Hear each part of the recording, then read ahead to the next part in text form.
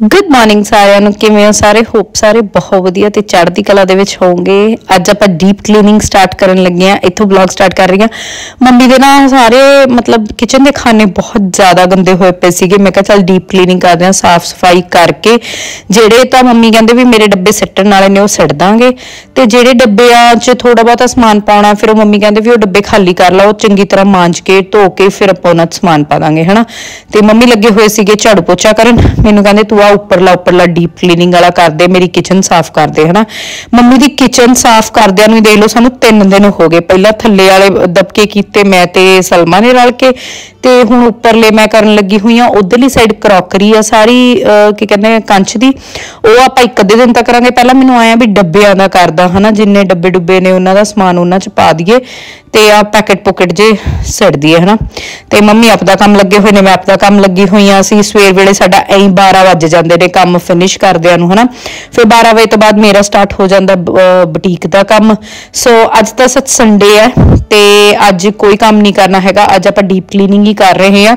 ਫਿਰ ਉਹ ਤੋਂ ਬਾਅਦ ਦੇਖਦੇ ਆ ਬੱਚਿਆਂ ਨੂੰ ਕਿਤੇ ਘੁੰਮਣ ਲੈ ਕੇ ਜਾਵਾਂਗੇ। ਪਰ ਗੁਰਪ੍ਰਤਾਪ ਕਹਿੰਦਾ ਵੀ ਮੈਂ ਜਾਣਾ ਨਹੀਂ ਹੈਗਾ ਮਮਾ, ਵੀ ਮੈਂ ਨਾ ਕੀ ਕਹਿੰਦੇ ਨੇ, ਉਹਦੇ ਪੇਪਰ ਸਟਾਰਟ ਹੋ ਗਏ। ਸਾਰੇ ਬੱਚਿਆਂ ਦੇ ਆਈ ਥਿੰਕ ਸੋ ਸੰਡੇ ਨੂੰ ਹੀ ਹੁੰਦਾ ਵੀ ਹਾਂ, ਚੱਲ ਨਾਲੇ ਤਾਂ ਸਫ਼ਾਈ ਹੋ ਜੂਗੀ, ਫਿਰ ਚੱਲ ਦੁਪਹਿਰੇ ਕਿਤੇ ਘੁੰਮ ਫਿਰ ਆਈਦਾ ਹੈ। ਤੇ ਸ਼ਾਮ ਨੂੰ ਕਿਉਂਕਿ ਫਿਰ ਅਮਨ ਆਪਣੇ ਫਰੈਂਡਸ ਨਾਲ ਚਲੇ ਜਾਂਦੇ ਨੇ ਤੇ ਸਾਨੂੰ ਘਰੇ ਛੱਡ ਦਿੰਦੇ ਨੇ। ਆ ਮੰਮੀ ਦੇ ਦਾਲਾਂ ਦੂਲਾਂ ਜਾਂ ਸਾਰੇ ਪੈਕੇਟਸ ਜੇ ਬਣੇ ਹੋਏ ਸੀਗੇ, ਉਹ ਮੈਂ ਕਿਹਾ ਚੱਲ ਸਾਰੇ ਅੱਜ ਡੱਬਿਆਂ 'ਚ ਪਾ ਕੇ ਪੈਕੇਟ ਪੋਕਟ ਸੱਟ ਦਾਂਗੇ। ਹਨਾ ਤੇ ਇੰਨੇ ਜੀ ਮੰਮੀ ਨੂੰ ਹੈਲਪ ਹੋ ਜਾਂਦੀ ਹੈ ਮੰਮੀ ਕਹਿੰਦੇ ਵੀ ਜਿੱਦਣ ਦੀ ਤੁਸੀਂ ਆਏ ਹੋ ਨਾ ਮੇਰੀ ਤਾਂ ਸ਼ੂਗਰ ਨਹੀਂ ਹੁਣ ਘਟਦੀ ਹੈਗੀ। ਵੀ ਸਟੇਬਲ ਆਉਣ ਲੱਗ ਗਈ ਕਿਉਂਕਿ ਉਦੋਂ ਦੇ ਆਪਾਂ ਕੰਮ ਲੱਗੇ ਹੋਏ ਆ ਤੂੰ ਆਪਣਾ ਕੰਮ ਕਰੀ ਜਾਂਦੀ ਆ ਮੈਨੂੰ ਬਹੁਤ ਹੈਲਪ ਹੋ ਜਾਂਦੀ ਹੈ ਹਨਾ ਤੇ ਅੱਜ ਹੋ ਗਈ ਮੰਮੀ ਦੇ ਕਿਤੇ ਵਾਸ਼ਿੰਗ ਮਸ਼ੀਨ ਖਰਾਬ। ਜਮਾ ਵਾਸ਼ਿੰਗ ਮਸ਼ੀਨ ਖਰਾਬ ਹੋ ਗਈ। ਹੁਣ ਕਹਿੰਦੇ ਸੀ ਕਹਿੰਦੇ ਠੀਕ ਕਰਨੇ ਪਰ ਉਹ ਜੇ, ਕੀ ਕਹਿੰਦੇ ਨੇ ਮੈਂ ਕਹਿ ਰਹੀ ਸੀ ਮੈਂ ਆਪਣੀ ਆਟੋ ਵਾਸ਼ਿੰਗ ਮਸ਼ੀਨ ਵੀ ਚੱਕ ਲਈ ਸੀਗੀ। ਤੇ ਉਹ ਮੈਂ ਕਹਿ ਰਹੀ ਸੀ ਮੈਂ ਕਿਹਾ ਤੁਸੀਂ ਉਹ ਯੂਜ਼ ਕਰ ਲਓ। ਕਹਿੰਦੇ ਨਹੀਂ ਕਹਿੰਦੇ ਉਹ ਨਹੀਂ ਮੈਂ ਕਰਨੀ, ਨਾ ਮੈਨੂੰ ਉਹ ਪਸੰਦ ਆ, ਨਾ ਮੈਂ ਉਹ ਕਰਨੀ ਆ। ਵੀ ਮੈਂ ਤਾਂ ਆਪਣੀ ਵਾਸ਼ਿੰਗ ਮਸ਼ੀਨ ਹੀ ਠੀਕ ਕਰਾਉਂਗੀ, ਹਨਾ? ਤੇ ਇੱਥੇ ਹਨੀਤ ਉੱਠ ਖੜਿਆ ਸੀਗਾ, ਹਨੀਤ ਦੇ ਮੈਂ ਕਿਹਾ, ਚਲ ਕੋਮਿੰਗ ਵਗੈਰਾ ਕਰ ਦਈਏ। ਤੇ ਹਨੀਤ ਨੂੰ ਰੈਡੀ ਕਰ ਦਈਏ। ਆ ਕੱਪੜੇ ਹਨੀਤ ਨੇ ਪਾਏ ਸੀ। ਅੱਜ ਥੋੜੀ ਜਿਹੀ ਢਿੱਲੀ ਸੀਗੀ ਇਹਦੀ ਨਾ। ਸਵੇਰੇ ਉੱਠਦੇ ਸਾਰ ਜਾੜ ਦੁਖ ਰਹੀ ਸੀਗੀ। ਪਤਾ ਨਹੀਂ ਕੀ ਹੋਇਆ ਹੋਇਆ ਸੀਗਾ। ਜਾੜ ਨੂੰ ਕਹਿੰਦੀ, ਪਹਿਲਾਂ ਤਾਂ ਕਹਿੰਦੀ ਕੰਨ ਦੁਖਦਾ ਮੰਮਾ ਬਹੁਤ ਜ਼ਿਆਦਾ, ਹਨਾ? ਫਿਰ ਜਾੜ ਦੁਖਣ ਲੱਗ ਗਈ। ਪਤਾ ਨਹੀਂ ਕਹਿੰਦੀ ਮੰਮਾ ਟੀਥ ਵੀ ਦੁਖਣ ਲੱਗ ਗਿਆ। ਟੀਥ ਦੁਖਦੇ ਦੁਖਦੇ ਇਧਰਲੀ ਸਾਈਡ ਇਹਦੀ ਸਾਰੀ ਸਵੈਲਿੰਗ ਹੋ ਗਈ ਸੀਗੀ, ਹਨਾ?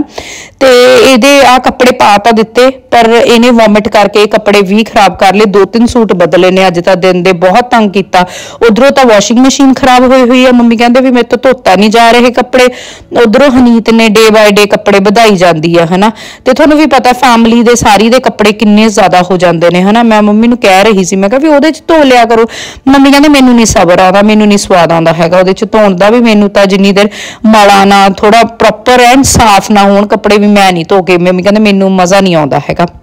ਸੋ ਮੈਂ ਫਿਰ ਐਂ ਕਿਹਾ ਸੀਗਾ, ਮੈਂ ਕਿਹਾ ਵੀ ਤੁਸੀਂ ਐਂ ਕਰਿਆ ਕਰੋ ਵੀ ਮੰਮੀ ਬੱਚਿਆਂ ਦੇ ਕਿਉਂਕਿ ਮੰਮੀ ਕਹਿੰਦੇ ਵੀ ਕੱਪੜੇ ਤੂੰ ਵੀ ਨਹੀਂ ਧੋਣੇ, ਤੂੰ ਆਪਣਾ ਉੱਪਰਲਾ ਉੱਪਰਲਾ ਮੇਰਾ ਸਾਰਾ ਫਿਨਿਸ਼ ਕਰ ਦਿਆ ਕਰ, ਰੋਟੀ, ਪਾਣੀ, ਬੱਚਿਆਂ ਨੂੰ ਸਾਂਭਣਾ, ਹਨਾ, ਆਪਣੇ ਬੁਟੀਕ ਦਾ ਕਰ ਲਿਆ ਕਰ, ਵੀ ਇਹੀ ਬਹੁਤ ਆ ਵੀ ਕੱਪੜੇ ਮੈਂ ਆਪੇ ਧੋ ਲੂੰਗੀ, ਹਨਾ, ਪਰ ਮੈਂ ਕਿ ਨਾਲ ਪਵਾ ਦਿੰਦੀ ਹੁੰਦੀ ਫਿਰ ਮੈਂ ਮੰਮੀ ਨੂੰ ਕਿਹਾ ਵੀ ਤੁਸੀਂ ਐਂ ਕਰੋ ਵੀ ਇਕੱਲੇ ਬੱਚਿਆਂ ਬੱਚਿਆਂ ਦੇ ਧੋ ਦੋ, ਵੀ ਜਿਹੜੇ ਵੱਡਿਆਂ ਦੇ ਆ, ਉਹ ਮੈਂ ਉਹ ਵਾਸ਼ਿੰਗ ਮਸ਼ੀਨ 'ਚ ਪਾ ਦੂੰਗੀ, ਹਨਾ। ਤੇ ਪਰ ਮਾਤਾ ਨੂੰ ਸਬਰ ਨਹੀਂ ਆਉਂਦਾ ਹੈਗਾ, ਇਹਨਾਂ ਨੂੰ ਕੱਪੜਿਆਂ ਦਾ ਤਾਂ ਮੰਮੀ ਦਾ ਫੇਵਰੇਟ ਕੰਮ ਹੈ, ਇਹ ਕੰਮ ਤਾਂ ਮੰਮੀ ਦਾ ਫੇਵਰੇਟ ਹੈ ਮੰਮੀ ਨੂੰ ਇਹ ਹੁੰਦਾ ਵੀ ਹੋਰ ਨਾ ਮੈਨੂੰ ਚਾਹੇ ਕੋਈ ਕੰਮ ਕਰਨਾ ਪਵੇ, ਵੀ ਉੱਪਰ ਰੋਟੀ, ਪਾਣੀ, ਖਾਣਾ ਜਿਹੜਾ ਉੱਪਰਲੇ ਕੰਮ ਨੇ ਉਹ ਸਾਰੇ ਮੈਂ ਸਾਂਭ ਲਵਾਂ, ਵੀ ਕੱਪੜੇ ਮੈਂ ਧੋ ਲੂੰਗੀ। ਤੇ ਫਿਰ ਅੱਜ ਮੰਮੀ ਨੇ ਸਿਰਫ ਬੱਚਿਆਂ ਬੱਚਿਆਂ ਦੇ ਧੋਤੇ ਸੀਗੇ। ਉਵੇਂ ਜਿਵੇਂ ਮੈਂ ਕਿਹਾ ਮੈਂ ਕਿਹਾ ਵੀ ਤੁਸੀਂ ਬੱਚਿਆਂ ਬੱਚਿਆਂ ਦੇ ਧੋ ਦਿਓ, ਵੀ ਵੱਡਿਆਂ ਦੇ ਫਿਰ ਆਪਾਂ ਰਲ ਕੇ ਧੋ ਦਾਂਗੇ ਜਾਂ ਉਹ ਵਾਲੀ ਵਾਸ਼ਿੰਗ ਮਸ਼ੀਨ 'ਚ ਪਾ ਦਾਂਗੇ, ਚੱਦਰਾਂ ਉਹਦੇ ਵਿੱਚ ਪਾ ਦਾਂਗੇ, ਹਨਾ। ਸੋ ਇੱਥੇ ਲੱਗੀ ਹੋਈ ਹਾਂ ਮੈਂ ਹਨੀਤ ਨੂੰ ਫਟਾਫਟ ਰੈਡੀ ਕਰਨ। ਤੇ ਇਹਦੇ ਪਾਪਾ ਨਹਾਉਂਦੇ ਸੀਗੇ, ਕਿਉਂਕਿ ਅੱਜ ਇਹਦੇ ਪਾਪਾ ਕਹਿੰਦੇ ਵੀ ਆਪਾਂ ਮੂਵੀ ਦੇਖਣ ਚੱਲਾਂਗੇ 11 11:30 ਵਾਲਾ ਸ਼ੋਅ ਹਨਾ। ਮੈਂ ਕਿਹਾ ਅੱਜ ਪਤਾ ਨਹੀਂ ਤੁਹਾਨੂੰ ਕੀ ਸੁੱਝਿਆ, ਇੰਨੀ ਛੇਤੀ ਵਾਲਾ ਸ਼ੋਅ ਹਨਾ, ਨਹੀਂ ਤਾਂ ਅਸੀਂ ਰਾਤ ਨੂੰ ਜਾਂਦੇ ਹੁੰਨੇ ਆਲਮੋਸਟ ਜਾਂ ਦੁਪਹਿਰੇ ਜਾਂਦੇ ਹੁੰਨੇ ਆ ਹਨਾ। ਪਰ ਇਹਨਾਂ ਨੂੰ ਪਤਾ ਨਹੀਂ ਕੀ ਹੋਇਆ, ਕਹਿੰਦੇ ਨਹੀਂ, ਅੱਜ 11:30 ਵਾਲਾ ਸ਼ੋਅ ਦੇਖਣ ਜਾਣਾ ਮੈਂ ਬੁੱਕ ਕਰਤਾ ਔਰ ਤੁਹਾਨੂੰ ਦਿਖਾਉਂਗੀ, ਬਣੇ ਰਹੋ ਕਿਹੜੀ ਮੂਵੀ ਦੇਖਣ ਜਾ ਰਹੇ ਆ ਹਨਾ। ਬਹੁਤ ਰਸ਼ ਸੀਗਾ, ਬਹੁਤ ਮਜ਼ਾ ਆਇਆ, ਹਨਾ। ਤੇ ਹਨੀਤ ਨੂੰ ਬਹੁਤ ਚਾਅ ਹੈ ਪਰ ਮੈਂ ਗੁਰਪ੍ਰਤਾਪ ਨੂੰ ਵੀ ਕਿਹਾ ਸੀ, ਮੈਂ ਕਿਹਾ ਵੀ ਆਪਾਂ ਚੱਲਦੇ ਆਂ ਵੀ ਆਪਾਂ 2 ਵਜੇ 1 ਵਜੇ ਮੁੜੇ ਆਉਣਾ, ਵੀ ਉਹ ਤੋਂ ਬਾਅਦ ਆ ਕੇ ਪੜ੍ਹ ਲਈ ਵੀ ਮੈਥ ਤੈਨੂੰ ਕੱਲ ਕੱਲ ਕਰਾਇਆ ਹੀ ਹੋਇਆ ਵੀ ਆਉਂਦਾ ਤੈਨੂੰ, ਹਨਾ? ਤੇ ਪਰ ਨਹੀਂ, ਮੇਰਾ ਪੁੱਤ ਬਹੁਤ ਸਿਆਣਾ ਬਣ ਗਿਆ, ਕਹਿੰਦਾ ਨਹੀਂ ਮਮਾ, ਵੀ ਤੁਸੀਂ ਜਾਇਓ, ਵੀ ਮੈਂ ਰਿਵੀਜ਼ਨ ਵੂਜ਼ਨ ਕਰ ਲੂੰਗਾ, ਵੀ ਮੈਂ ਆਪਣਾ ਮੈਥ ਪੂਰਾ ਡਨ ਕਰ ਲੂੰਗਾ, ਵੀ ਮੈਨੂੰ ਬਹੁਤ ਟੈਨਸ਼ਨ ਹੈ ਐਗਜ਼ਾਮ ਦੀ, ਹਨਾ? ਕਿਉਂਕਿ ਹੁਣ ਇੱਕੋ ਦਮ ਐਗਜ਼ਾਮ ਸ਼ੁਰੂ ਹੋ ਗਏ ਕਲਾਸਿਸ ਲੱਗਦੇ ਸਾਰ, ਹਨਾ? ਹਨੀਤ ਦੇ ਵੀ ਚੱਲ ਰਹੇ ਨੇ, ਪਰ ਹਨੀਤ ਨੂੰ ਕੋਈ ਫਿਕਰ ਨਹੀਂ ਹੈਗੀ, ਹਨੀਤ ਤਾਂ ਬੇਫਿਕਰਾ ਬੰਦਾ ਇਹ ਇਹ ਤਾਂ ਕਹਿੰਦੇ ਵੀ ਜਿਹੜੀ ਫਿਲਮ ਫਿਲਮ ਦੇਖੀ ਜਾਵੇ, ਘੁੰਮਿਆ ਫਿਰਿਆ ਜਾਵੇ, ਉਹੀ ਵਧੀਆ ਤੇ ਪੜਨਾ ਪੜਨਾ ਅਸੀਂ ਹੈ ਨਹੀਂਗਾ ਪਰ ਨਹੀਂ, ਹੁਣ ਇਹਨੂੰ ਜਦੋਂ ਆਪਾਂ ਨੈਕਸਟ April ਤੋਂ ਨਾ ਵੱਡੇ ਸਕੂਲ ਚ ਪਾ ਦੇਣਾ, ਫਿਰ ਥੋੜੀ ਸਿੰਸੀਅਰ ਹੋ ਜਾਊਗਾ, ਹਨਾ? ਤੇ ਲੱਗੇ ਹੋਇਆ ਇਹਨੂੰ ਰੈਡੀ ਕਰਕੇ ਫਿਰ ਮੈਂ ਰੈਡੀ ਹੋਣਾ, ਅਮਨ ਜੀ ਰੈਡੀ ਹੋ ਰਹੇ ਨੇ। ਪਰ ਮੈਨੂੰ ਨਾਲ ਨਾਲ ਇਹ ਵੀ ਆ ਵੀ ਮੈਂ ਆਪਣਾ ਸੌਟ ਆਊਟ ਵੀ ਉੱਪਰਲਾ ਉੱਪਰਲਾ ਕੰਮ ਥੋੜਾ ਜਿਹਾ ਕਰ ਜਾਂ ਬੈੱਡ ਸ਼ੀਟਾਂ ਵਗੈਰਾ ਝਾੜ ਜਵਾਂ ਕਿਉਂਕਿ ਮੰਮੀ ਕਹਿੰਦੇ ਅੱਜ ਝਾੜੂ ਪੋਚਾ ਨਹੀਂ ਕਰਾਂਗੇ, ਝਾੜੂ ਪੋਚਾ ਕੱਲ ਨੂੰ ਮੰਡੇ ਕਰਾਂਗੇ।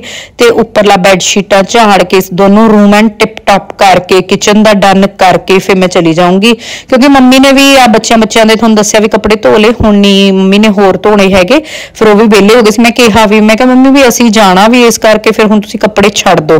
ਵੀ ਅਸੀਂ ਥੋੜਾ ਬਹੁਤਾ ਚੱਲ ਘੁੰਮ ਫਿਰੇ ਆਉਨੇ ਆ ਸੰਡੇ ਆ, ਮਾਸਟਰ ਉਹਨੀ ਵੀ ਘੁੰਮਣ ਫਿਰਨ ਗਏ ਹੋਏ ਸੀ। ਅੱਜ ਉਹਨਾਂ ਨੂੰ ਵੀ ਛੁੱਟੀ ਕੀਤੀ ਸੀਗੀ ਤੇ ਅੱਜ ਉਹ ਘੁੰਮਣ ਫਿਰਨ ਗਏ ਹੋਏ ਨੇ, ਅਸੀਂ ਉਹਨਾਂ ਨੂੰ ਵੀ ਛੁੱਟੀ ਕਰਤੀ ਸੀਗੀ ਤੇ ਆਪ ਵੀ ਅਸੀਂ ਘੁੰਮਣ ਫਿਰਨ, ਅੱਜ ਤਾਂ ਘੁੰਮਣ ਫਿਰਨ ਡੇ ਹੋ ਗਿਆ, ਹਨਾ?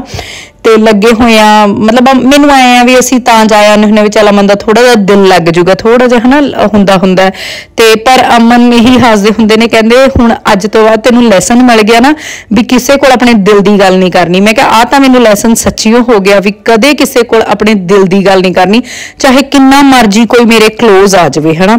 ਸੋ ਫਾਈਨਲੀ ਅਸੀਂ ਪਹੁੰਚ ਗਏ ਪੀਵੀਆਰ ਪੀਵੀਆਰ ਅਸੀਂ ਮੂਵੀ ਦੇਖਣ ਆਏ ਹੋਏ ਆ ਤੇ ਐਕਚੁਅਲੀ ਮੈਂ ਸਾਡੇ ਨਾਲ ਇੱਕ ਸਾਡੇ ਨਾਲ ਜਿਵੇਂ ਅਮਨ ਦੇ ਕੋਈ ਫਰੈਂਡ ਵੀ ਸੀਗੇ, ਤਾਂ ਉਹ ਲਾਈਕ ਨਹੀਂ ਕਰਦੇ ਹੈਗੇ, ਕੈਮਰੇ ਮੂਰੇ ਆਉਣਾ, YouTube ਮੂਰੇ ਆਉਣਾ ਸੋ ਆਪਾਂ ਅਗਲੇ ਦੀ ਵੀਡੀਓ ਨਹੀਂ ਬਣਾਉਂਦੇ ਹੈਗੇ, ਹਨਾ? ਇਸ ਕਰਕੇ ਆਪਾਂ ਆਪਣੀ ਬਣਾਉਨੇ ਆ ਅਮਨ ਅਮਨ ਨੇ ਮੈਂ ਅਸੀਂ ਦੋ ਤਿੰਨ ਕਪਲ ਗਏ ਸੀਗੇ, ਫਿਰ ਉਹਨਾਂ ਦੀ ਮੈਂ ਕਿਸੇ ਦੀ ਵੀਡੀਓ ਨਹੀਂ ਬਣਾਈ ਹੈਗੀ ਬਿਕੋਜ਼ ਉਹ ਲਾਈਕ ਨਹੀਂ ਕਰਦੇ, ਹਨਾ?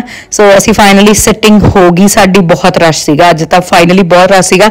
ਅਸੀਂ ਮੂਵੀ ਦੇਖਣ ਗਏ ਸੀ ਜੱਟ ਜੂਲੀਅਟ 3 ਬਹੁਤ ਵਧੀਆ ਮੂਵੀ ਆ, ਇੰਨਾ ਹੱਸ ਹੱਸ ਕੇ ਸਾਡਾ ਨਾ ਬਖਿਆ ਦੁਖਣ ਲੱਗ ਗਿਆ, ਬਹੁਤ ਵਧੀਆ ਮੂਵੀ ਲੱਗੀ ਸਾਨੂੰ, ਹਨਾ?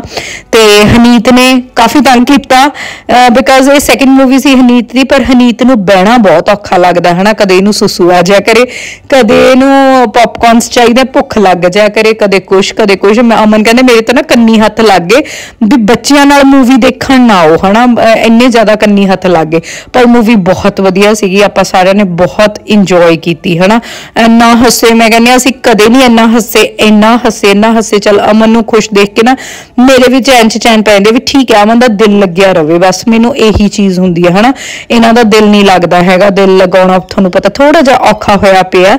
ਤੇ ਘਰੇ ਜਾ ਕੇ ਥੋੜਾ ਜਿਹਾ ਅਪਸੈਟ ਹੋ ਜਾਂਦੇ ਨੇ ਫਿਰ ਇਹਨਾਂ ਨੂੰ ਮੰਮੀ ਵੀ ਕਹਿਣ ਲੱਗੇ ਮੰਮੀ ਕਹਿੰਦੇ ਜਾਓ ਤੁਸੀਂ ਗੇੜਾ ਗੁੜਾ ਕੱਢੇ ਆਓ ਘੁੰਮ ਫੇਰੇ ਆਓ ਤਾਂ ਮੂਵੀ ਚਲੋ ਬੰਦਾ ਵੀ ਮੂਡ ਫਿਰ ਸਾਡੀ ਬਸ ਹਨੀਤ ਨੂੰ ਜਾਣ ਦੀ ਵੀ ਕਾਲੀ ਹੁੰਦੀ ਹੈ ਮੂਵੀ ਤੇ ਤੇ ਆਉਣ ਦੀ ਵੀ ਕਾਲੀ ਹੁੰਦੀ ਹੈ। ਫਾਈਨਲੀ ਮੂਵੀ ਮਾ ਵੀ ਡਨ ਕਰਕੇ ਆਪਾਂ ਆਪਣੇ ਕੰਮ ਵੀ ਲੱਗੀਏ ਥੋੜੇ ਜੇ ਹਨਾ?